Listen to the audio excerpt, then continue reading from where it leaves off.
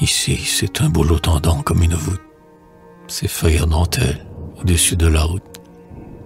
Plus loin, c'est le sentier où vers la fin du jour reviennent lentement les troupeaux d'alentour. Vois l'enclos, le jardin souriant dans la brume. Vois ce perron usé. Vois ce vieux toit qui fume et qu'un riant coteau réjoui défend. C'est là que je jouais lorsque j'étais enfant.